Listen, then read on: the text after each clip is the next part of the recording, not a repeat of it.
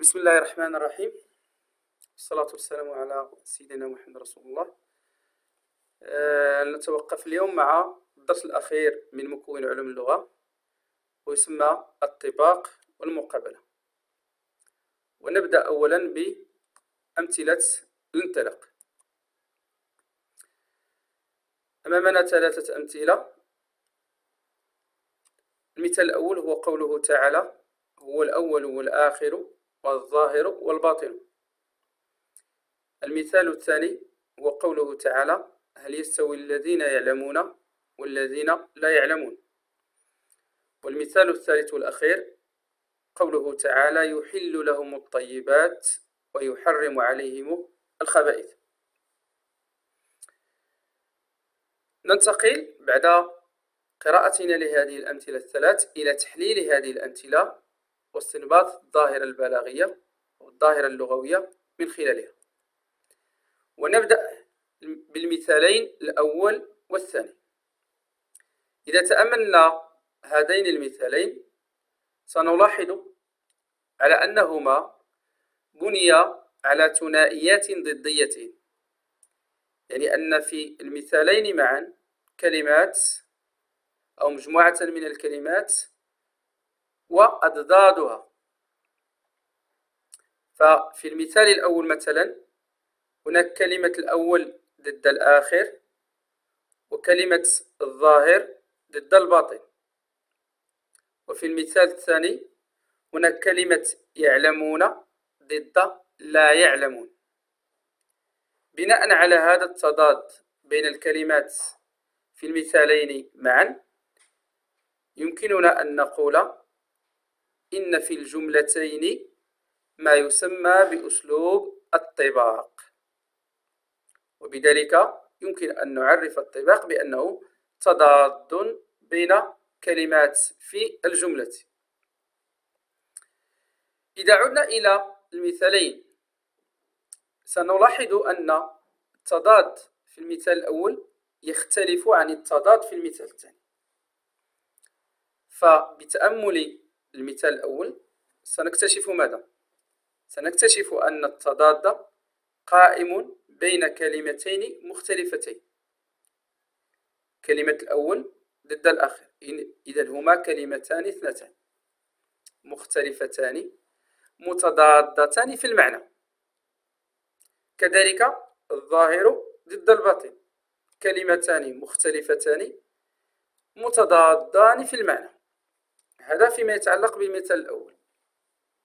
في المثال الثاني سنكتشف أن المتكلم وظف كلمة واحدة لكن بصيغتين مختلفتين. فمرة جاءت الكلمة مثبتة يعلمون إثبات العلم. ومرة جاءت الكلمة منفية لا يعلمون نفي العلم. وهذا الإثبات مرة والنفي مرة أخرى أعطانا علاقة تضاد في المعنى بين الكلمتين. إذا هناك في الجملة الأولى كلمات مختلفة وضدها. وهناك في الجملة الثانية كلمة واحدة لكن بصيغتين إحداهما مثبتة خالية من حرف النفي والثانية منفية جاءت قرونة بحرف نفي فأعطاها معنى معاكسا مضادا للمعنى الأول. بناء على ذلك يختلف الطباق في المثال الأول عن الطباق في المثال الثاني. الطباق في المثال الأول يسمى طباق الإيجاب وهو حينما نوظف كلمتين مختلفتين بينهما علاقة تضاد في المعنى.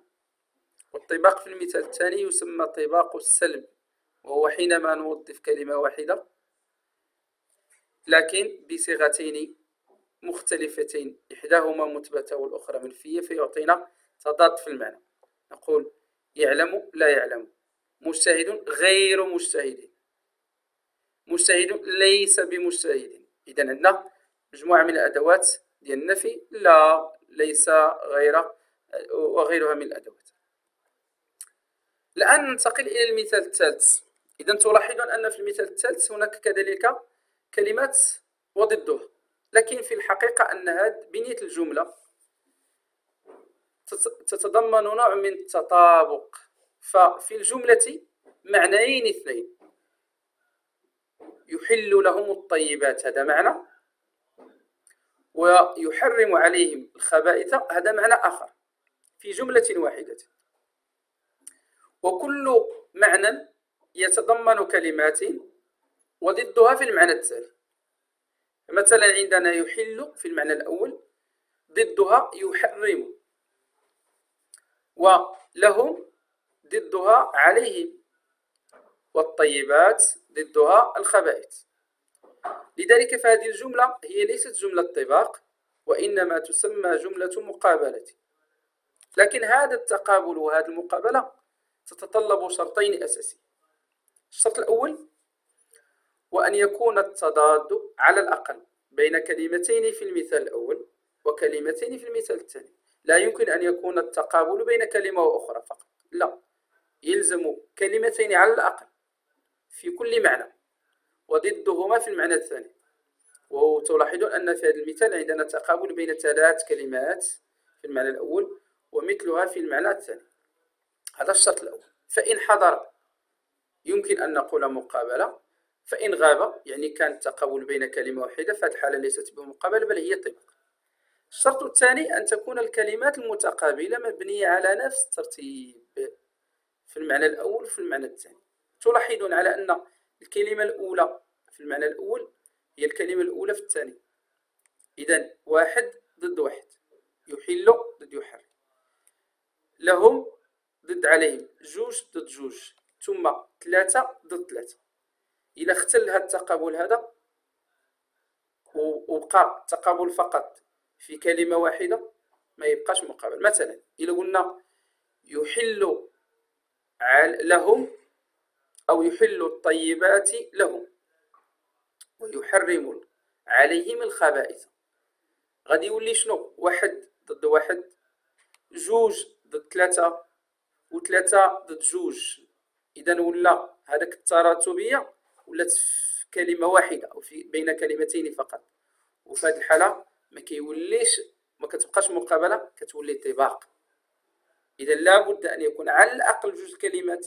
جوج كلمات مرتبين على نفس الترتيب دون أن يختل ذلك الترتيب. إذا هذا فيما يتعلق بالطباق والمقابلة وهو بالطبع من أسهل الدروس المقررة لديكم في هذه السنة الدراسية. نصل الآن إلى الاستنتاج.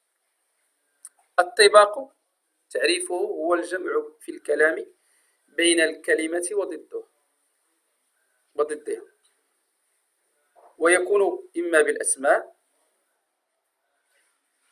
أو بالأفعال.